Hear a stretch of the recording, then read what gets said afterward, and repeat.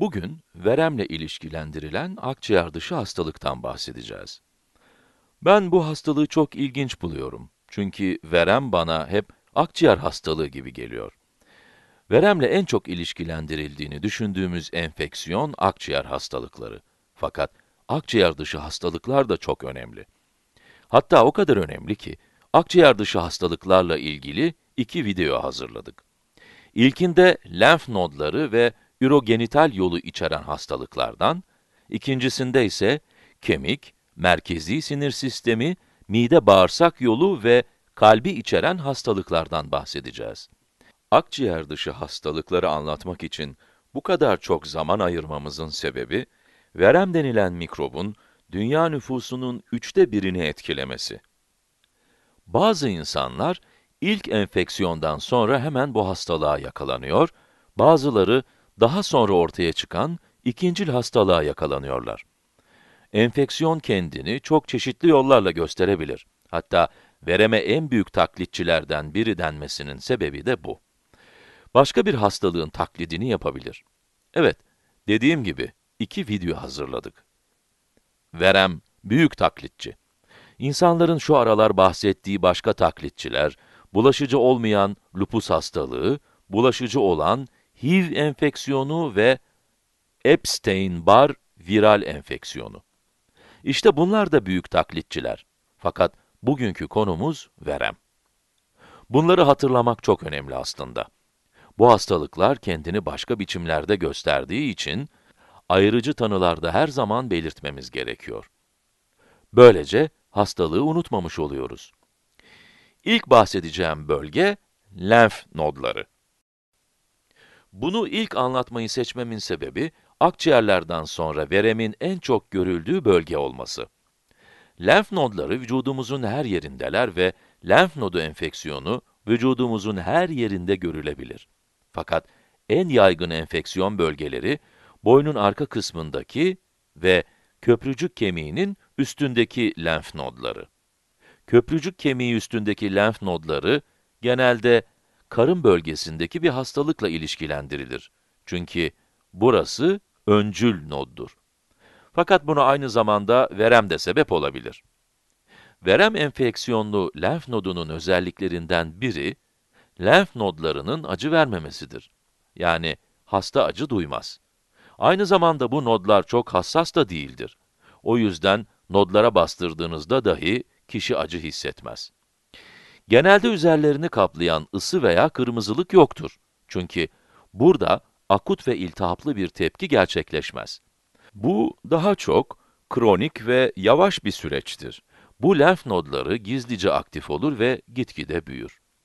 Fakat süreç uzun dönemli olduğu için nodlardan bazıları büyürken fistül oluşumuna sebep olur. Lenf nodundan drenajlı deriye kadar olan bağlantı. Yani, eğer büyümüş bir lenf noduyla ilişkilendirilmiş fistül görürseniz, verem aklınızda bulunsun. Bunların teşhis edilme yöntemlerinden biri, bir lenf nodu örneği almak ve mikroskopla incelemek. Bu incelemeyle verem basillerini görebilirsiniz. Basilleri görmezseniz, kültür ortamında yetiştirebilirsiniz. Lenf nodlarında verem olduğundan şüphelenilen hastaların akciğer röntgenini çekmek iyi bir fikir. Ama %50'den fazla ihtimal akciğer röntgeni negatif çıkar. O yüzden negatif röntgen sonucu yüzünden teşhis koymaktan çekinmeyin. Çünkü negatif olduğu çok görülüyor. Bir diğer bahsetmek istediğim kısım, ürogenital bölge. İkinci olarak bundan bahsetmemin sebebi ise, lenf nodundan sonra ürogenital geliyor. Akciğer dışı verem hastalıklarının yüzde 15 ila 20'sini oluşturduğu düşünülüyor. Lenf nodlarında bu oran yüzde 35 civarında. Yani, ürogenital enfeksiyon, lenf nodu enfeksiyonun yaklaşık yarısı kadar az görülür. Ürogenital bölgede yani böbrek ve genital bölgede görülecek herhangi bir enfeksiyon gibi hastaların şikayetleri belirli olmayabilir. Mesela idrarda kan, idrarda boşaltma esnasında acı veya gece tuvalete çıkma isteği. Mikroskopla hastaların idrarını incelerseniz, beyaz kan hücreleri yani irin görebilirsiniz. Fakat bakteriye rastlamazsınız. Bunun sebebi şu. Bu akciğer dışı verem bölgesinde bulunan verem basillerinin miktarı çok az ve idrara santrifüj uygulanmadıkça veya yoğunlaştırıp vereme özgü boyalarla test yapmadıkça bakteri göremezsiniz. Bu durum normalde idrar yolları enfeksiyonlarında gördüğümüz durumla çelişiyor. Normalde yüzlerce, binlerce hatta milyonlarca bakteri oluyor ve bunlar kullandığımız boya testleriyle görülebiliyor.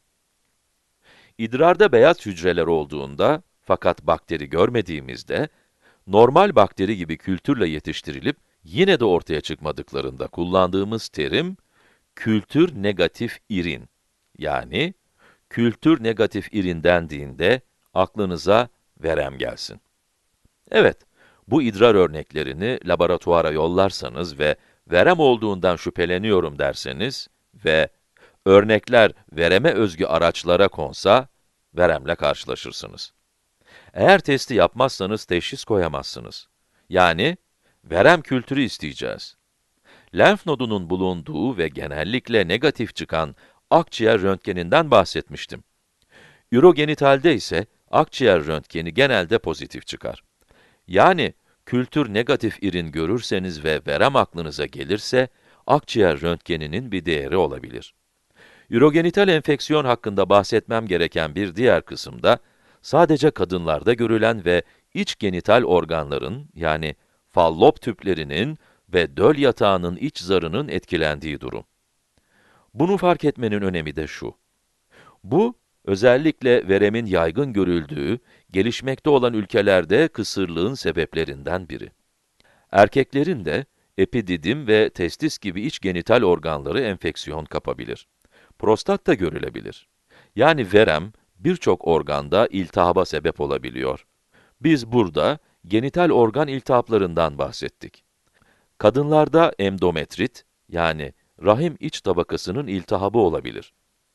Bahsettiğim gibi fallop tüpleri de olabilir.